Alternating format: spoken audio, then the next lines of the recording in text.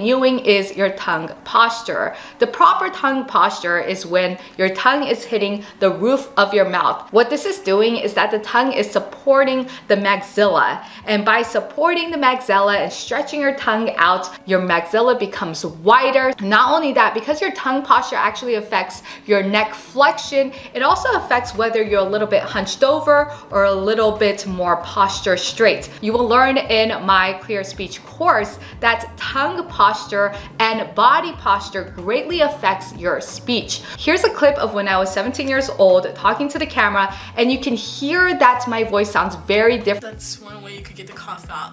Of course, that's kind of unhealthy, but if you really want to get it out, then go for it. There were two things happening there. One was that I had larger tonsils. Secondarily, when your tongue is not mewing, meaning it's not supporting the maxilla, then your mouth becomes more narrow. And when it becomes more narrow, because your tongue needs to go somewhere, it tends to sit on the back of your mouth. And when it sits on the back of your mouth, then breathing from your nose becomes harder. Anything that affects the airway of your throat, it's going to change the clarity of your voice.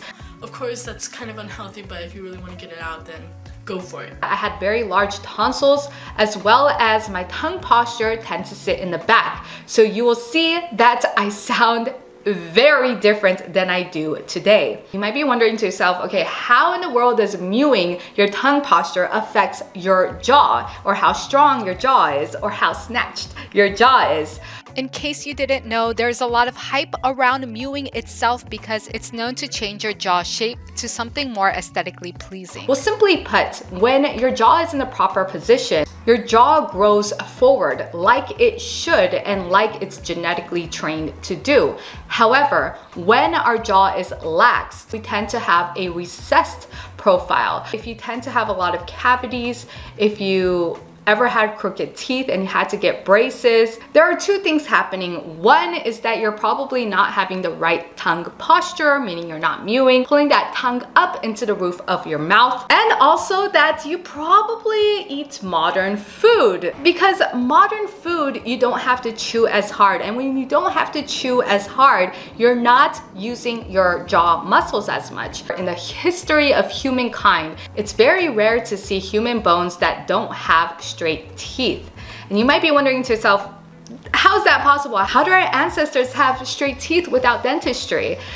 When it comes to this, it's not only the fact that they had mewing properly done, they had their tongue posture properly set, but it was also the fact that they chewed hard food. Unlike the modern food that we have, it's all soft, it's nice to chew on. I mean, I drink my vegetables and fruits in a liquid form. There was also this research that was done and they were studying this generational gap that had traditional food and the very next generation that had modern food. And the people who was just a generation before, so their parents had perfectly straight teeth, even had their wisdom teeth in, not a problem. And then the generations after, they had very crooked teeth. But also part of that, you can see that their mouth was also more narrow. Their jawline was narrowed because now everything's recessed as well. Diet has a lot to do with it. If you tend to be a vegetarian, let's say, you're going to tend to have that recessed look. If you tend to be a meat eater, you tend to have a stronger jaw and a forward face. Warning, I'm about to go down a quick 30 second rabbit hole, but stick with me here, there is a payoff. Which makes sense why we are more attracted to somebody with a strong jaw and a forward face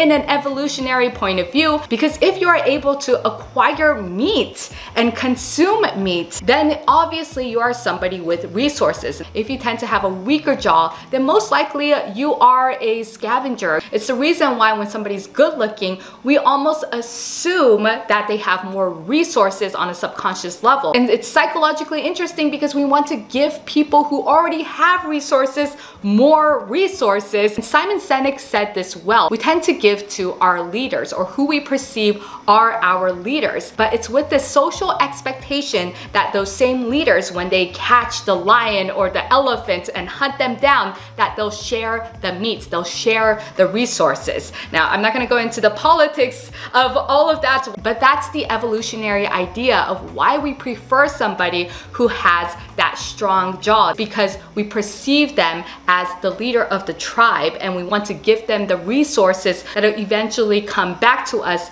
in a community. It's the reason why we tend to give more good looking people a lot more chances, a lot more opportunities, perhaps a lot more leeway because of that subconscious psychology that's happening without us even knowing.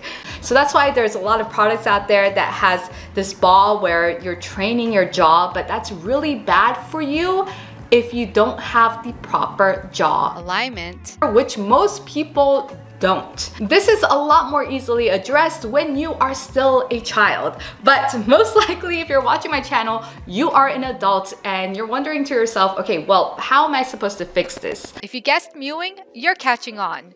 But sometimes mewing is just not enough for those people holistic dentistry might be the path. They utilize mouth appliances and other methodology in order to realign your jaw. This is something I'm personally going to go through and record my journey throughout. That's something that you're interested in. Comment below, let me know so I can do content specifically on holistic dentistry and of course subscribe if you haven't already. So what to do about this? It's very simple. All you have to do is place your whole tongue to the roof of your mouth. Another side effect that happens when you start mewing is that you start breathing through your nose. If you're not used to breathing through your nose, it might feel a little bit weird at first, but we're supposed to breathe through our nose. But one of my friend, his hack is that he duct tapes his mouth so he can breathe through his nose.